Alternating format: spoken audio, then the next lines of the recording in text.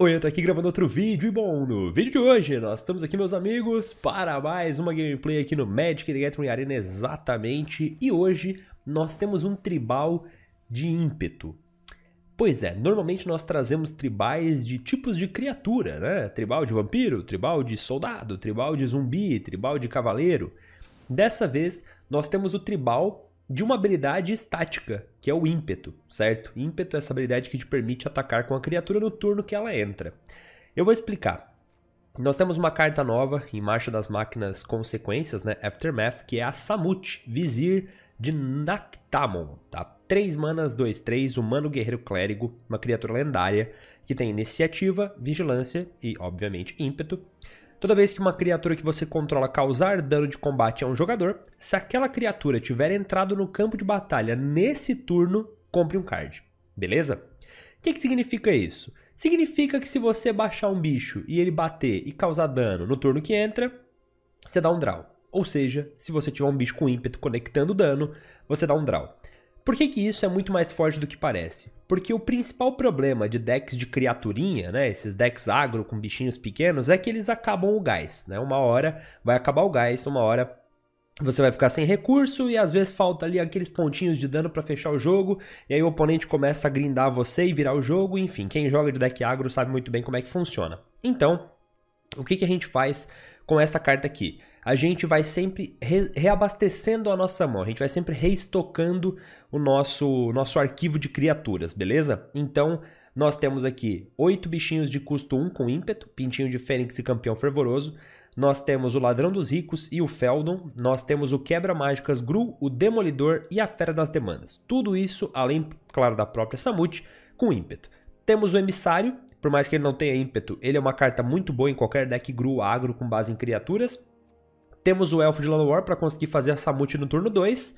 Temos o Brincar com Fogo como uma forma de remoção. E nós temos aqui a Brazolâmina é, para fechar o jogo também, porque é uma carta muito forte, tá? É, ela também, assim, ela não dá ímpeto para uma criatura, mas, cara, se você junta a Brazolâmina com Fera das Demandas, ou se você é, coloca numa criatura sua com ímpeto, por exemplo, ela causa dano duas vezes, você compra cartas duas vezes e assim por diante, tá? Então é bem forte. E é basicamente isso.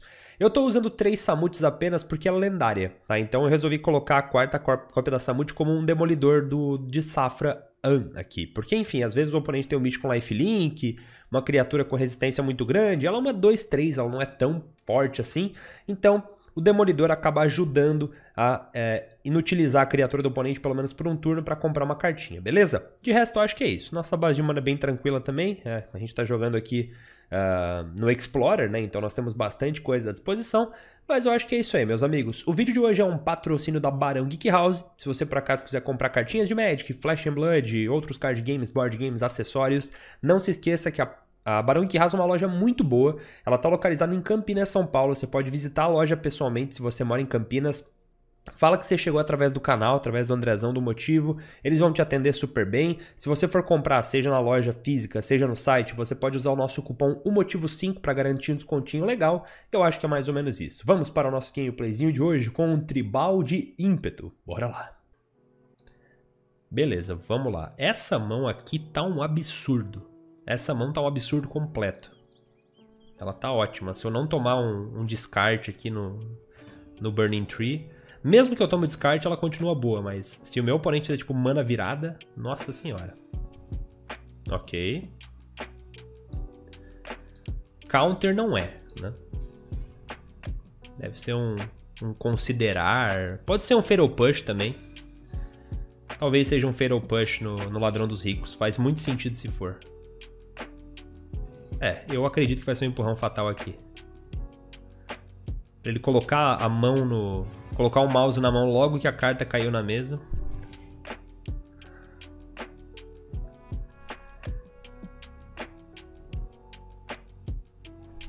Beleza, isso foi ótimo. Porque daí ele não tem um counter, né? Aí eu bato 5, levo ele a 11 e já compro uma carta. Maravilha. Se isso aqui continuar vivo, delícia. São poucas as remoções de custo 3, né? O pessoal não costuma usar muita remoção de custo, remoção global de custo 3. Talvez a melhor jogada para ele seja só matar a Samut. Ai, ai, ai. Meu Deus. Nossa senhora, isso aqui foi péssimo. Senhor amado. Meu Deus do céu. Isso foi péssimo. Jesus. Ela é um guerreiro, não é nem um cavaleiro, né? Minha nossa. Ah, beleza.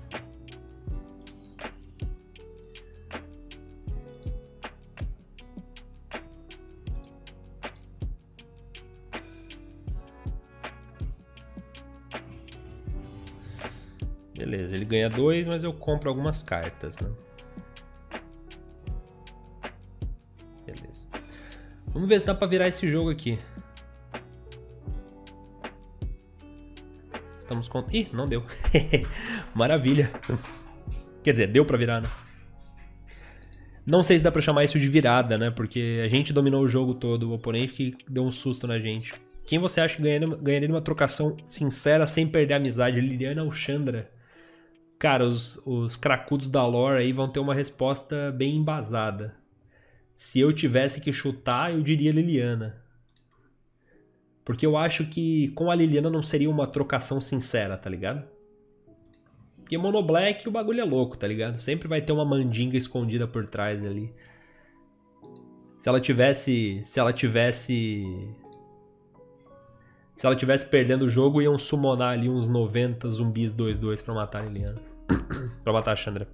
É simples, a Liliana tancou o Enraku, tem razão. Tem razão. Mas será que a Chandra não conseguiria tancar o Enraku também?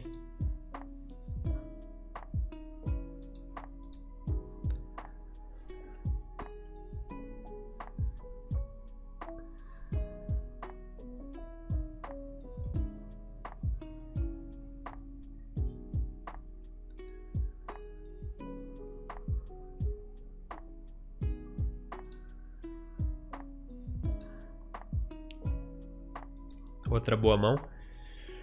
Ela tava se ferrando com o Gideon, Jace Nissa antes da Liliana chegar, pode crer. Ah, então o meu chute funcionou.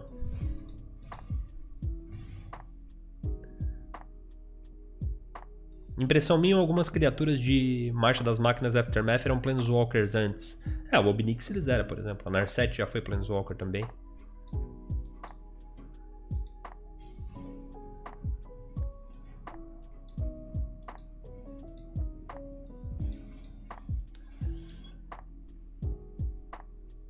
Beleza, mano.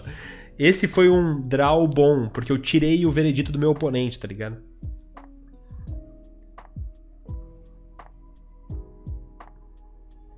Já valeu de alguma coisa. Eu acho que eu vou fazer isso aqui. Vou fazer aqui. Ele deve ter um counter. Eu vou fazer dessa forma ah, na verdade era pra ter feito Feldon, mandei mal.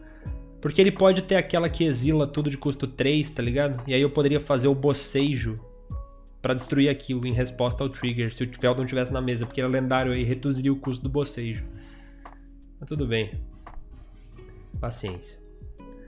Dá pra fazer no próximo turno de qualquer forma. Não acho que mude muita coisa. É o temperamento... Não, não é temperamento, é... Como é que é o nome daquela carta?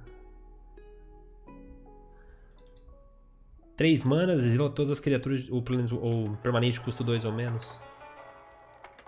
Temporary Lockdown. Não é temperamento, é, tem, é temporário, né? Confinamento temporário, sei lá.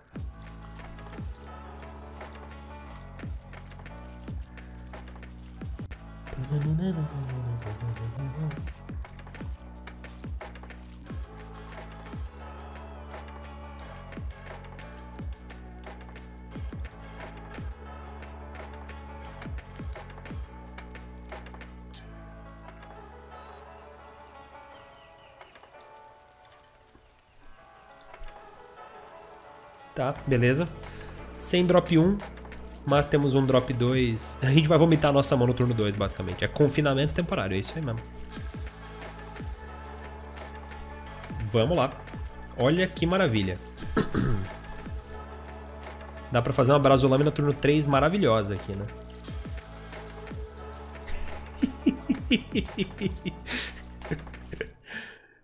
Caraca, ainda exilei um gigante, bicho. Se eu conseguir conectar dano com isso aqui no próximo turno. Ou se eu conseguir bater com isso aqui, pelo menos, minha nossa.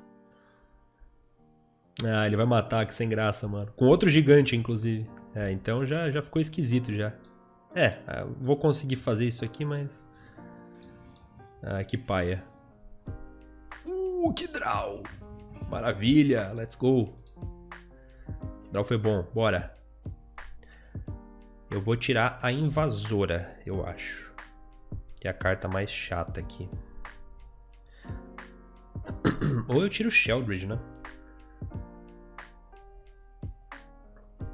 Porque no próximo turno eu vou fazer a Brasulâmina de qualquer forma. Então o bicho dele que morrer já era. A Sheldred é a carta que realmente pode travar esse jogo aqui.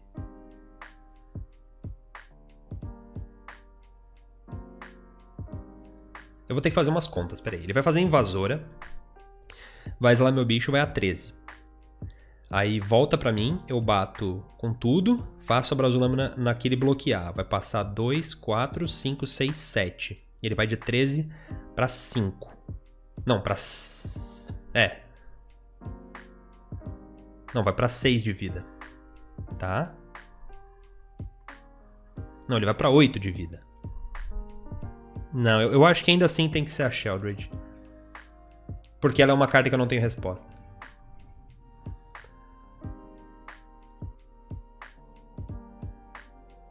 Beleza.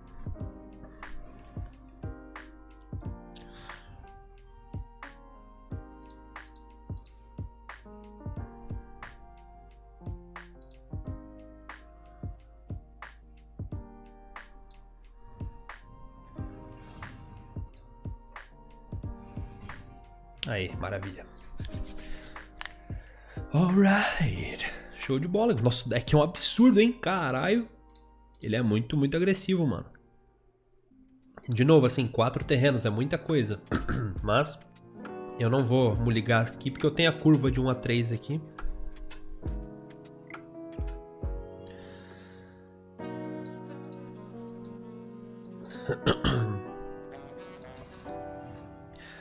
Isso aqui pode significar... O que pode significar isso aqui? Um Selesnia Company?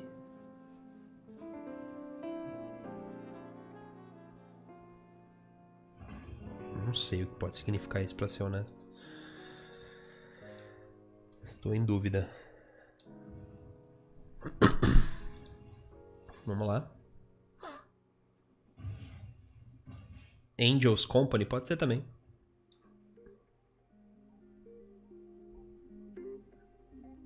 Que é uma péssima match, né? É, pra ele ter passado o turno assim. Angels Company mesmo.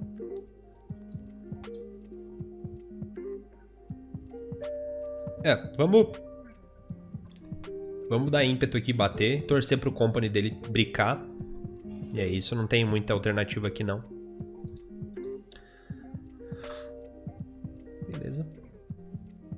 Eu já posso explodir aqui agora, dependendo do que ele encontrar. Beleza, o Company bricou. Tive sorte aqui.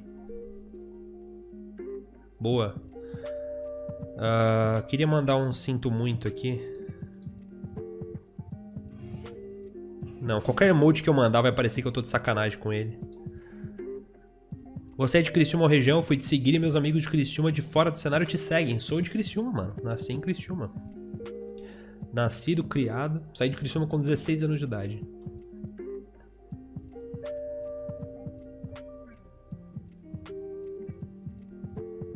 Isso aqui deve ser tipo top 10 cartas que eu mais odeio na minha vida.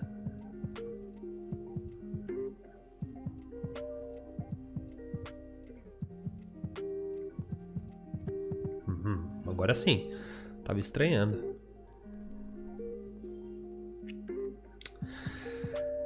Ai, ai.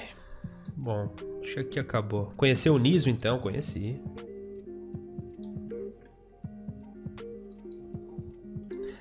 É, manos, eu acho que já era aqui, né? Tipo, eu posso bater com tudo, ele vai engolir o meu ladrão aqui, vai tomar quatro. Putz, eu não sei se tem alguma coisa que me, me resolve aqui. Eu vou perder um bicho, sabe? Só passar o turno aqui, infelizmente.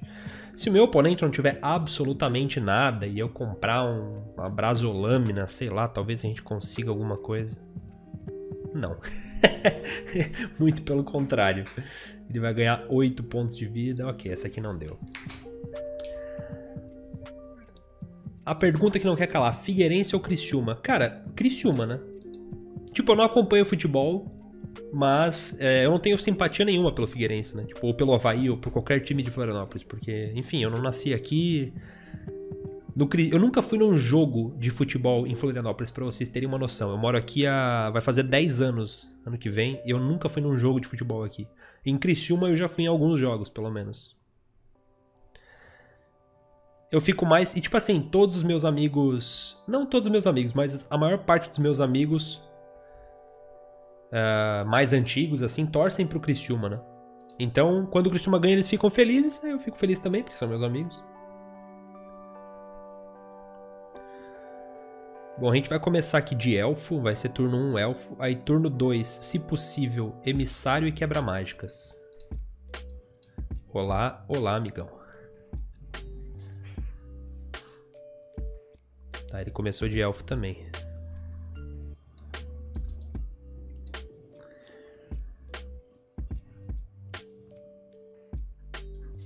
Ter que ser aqui com ímpeto, né? Ladrão dos Ricos já é bem bom também, mas vamos fazer aqui. Tentar aplicar um pouco de pressão. Há uma chance do meu oponente estar tá jogando de Monogreen é, Devotion, é isso mesmo. E brincamos. Pô, que raiva desse jogo, mano, meu Deus! Pô, era o único drop 2 que ele não podia ter, cara, que travava completamente o meu jogo. Nossa, que coisa. Eu não comprei o terreno para fazer a fera também. Alright. que raiva, meu Deus, que zica com esse deck, mano. Ou eu compro um trilhão de terrenos, ou eu travo no segundo.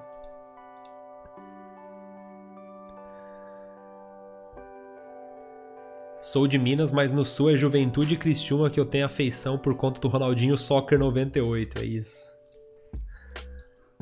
Criciúma era um timaço na época do Super Nintendo, né, mano? Porque o Criciúma ganhou a Copa do Brasil nos anos 90, né?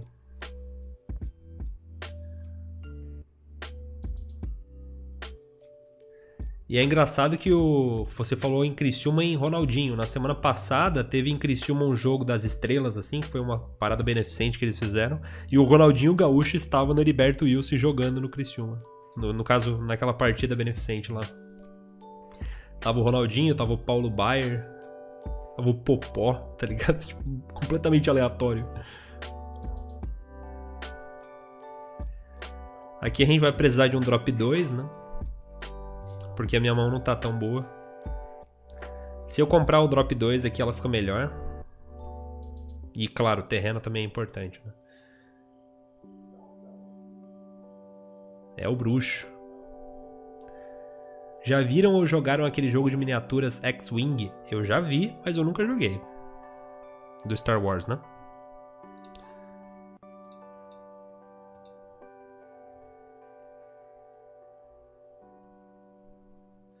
É, vocês perguntaram antes da viagem, né, do mochilão e tal.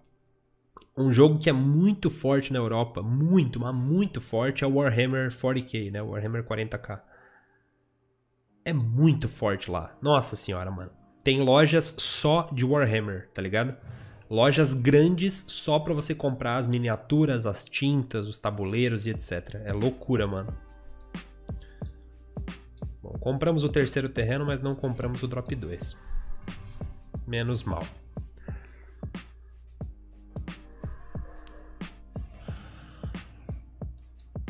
Bom, vamos lá, tribal de ímpeto, né?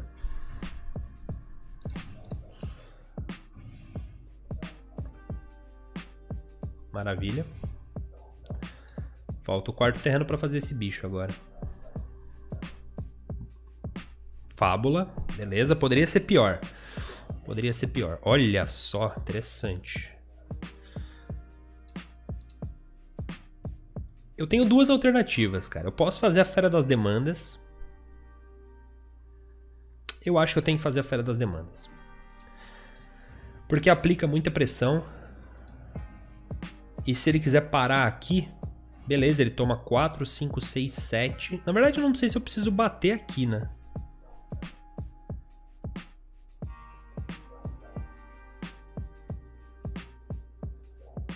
É, eu acho que ele vai querer tomar de qualquer... É, ele vai... Eu, não vou bater com essa um barrão, não. Ele não pode bloquear a fera. Bloquear a Samut envolve perder o terreno. Muito provavelmente aqui ele vai tomar todo o dano. Pra poder bater depois, fazer o tesouro e limpar minha mesa. Então eu não vou deixar ele levar o meu um barrão embora, não. Tá, não tem nada pra causar de Planeswalker em ninguém. Esse bicho com ímpeto foi bom. Vamos ver, aqui é o turno que ele comba ou que ele faz alguma coisa absurda. Ah, é aquele deck que tem Atraxa, né? Mas ele não conseguiu descartar uma Atraxa, pelo menos. Foi a 4, tá? Agora vem a Global. Agora vem a Global. E se eu comprar um terreno... Ah, ele não fez a Global. Então deu nós, né? Ou não? Então deu nós, não deu não? Porque eu faço isso aqui, isso aqui não bloqueia, isso aqui bloca aqui. Um, dois. Se eu, eu posso fazer os dois bichos com ímpeto também. Eu acho que deu nós, eu só quero ver me certificar mesmo. Vou fazer isso aqui, a 2, 2 não bloqueia. Aí vai, ele vai bloquear aqui. É, já era. Maravilha. tá bom, acho que o cara tava telando, né? Que ele viu que morreu antes de mim, mas tudo bem. Cara, na prática, esse aqui é um Gru Agro muito legal, tá ligado? Ele é um Gru Agro bem interessante, bem divertido. Às vezes você compra terreno demais, às vezes de menos, mas para quem gosta de, de Gru, para quem gosta de deck agro e enfim, se você curte muito bichos rápidos com ímpeto, esse deck aqui é perfeito para você, né? Essa mão tá muito legal. Eu vou tomar o dano aqui, porque eu não sei como é que vai ser o meu próximo turno. Meu oponente faz tipo um Tot Seize aqui, eu já vou querer fazer essas duas. Eu vou querer ter o terreno vermelho aqui. Se eu faço verde pra cá, eu vou ter uma mana vermelha só, né? Caralho. Mas a gente joga e não é pouco não, tá? A gente joga e não é pouco não. Precisamos ser respeitados.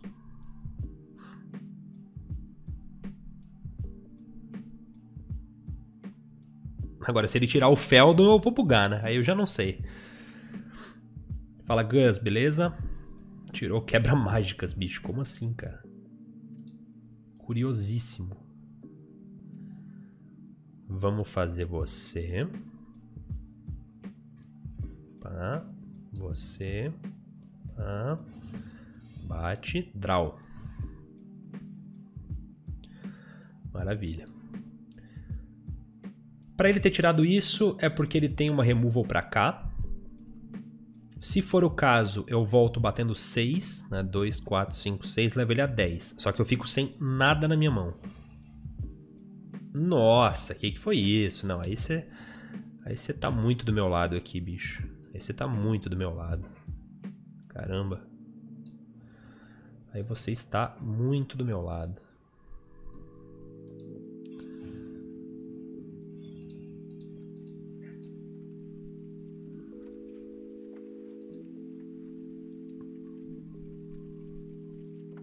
Vou dar dois draws aqui, né? Menos que ele dê um jump block no Feldon. O que também não tem problema nenhum, né? Isso aqui pode ser um Abzan mid-range, um Abzan Cavaleiros.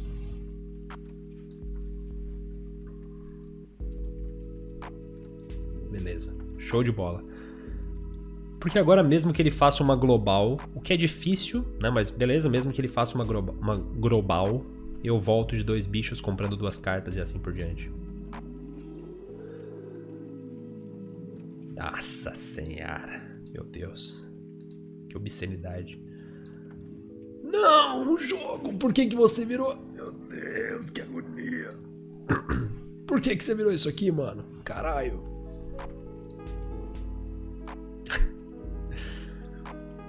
Ai. Ok. Tá bom. Toma bastante dano aí. E vai a 2 de vida. Tudo bem. Nossa mesa continua bem forte. A gente ainda dá mais um draw. E tem mais um desse aqui no próximo turno. A princípio tá tranquilo.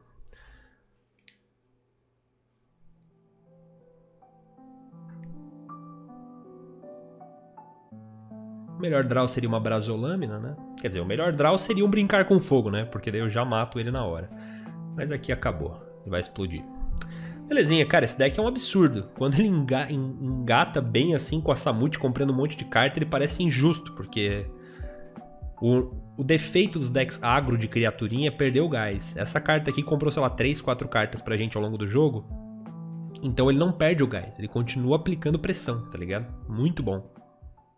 Bom, meus amigos, eu espero que vocês tenham gostado. Se vocês gostaram, não se esqueçam de se inscreverem aqui no canal, deixem o like aqui embaixo. Minhas redes sociais estão na descrição do vídeo e no topo da descrição do vídeo você vai encontrar a melhor forma de ajudar o nosso canal, que é através do Catarse, né? A segunda melhor forma. A melhor forma é assistir os nossos videozinhos aqui no YouTube, claro, mas a, a segunda melhor forma é através do Catarse, que é um financiamento coletivo. Você pode ajudar com qualquer valor. Então, dá uma olhadinha, existem inúmeras recompensas, a gente te coloca num grupo grupo do WhatsApp. Nós temos dois grupos com mais de 200 pessoas já. E eu tô todo dia lá trocando ideia com a galera, passando os vídeos para eles antes de todo mundo. Esse vídeo, por exemplo, eles estão assistindo dias antes de ele ir, ao ar. Então, se vocês quiserem, não se esqueçam de dar uma olhadinha no topo da descrição. E eu me despeço por aqui. Muito obrigado por terem assistido. Um grande abraço e falou!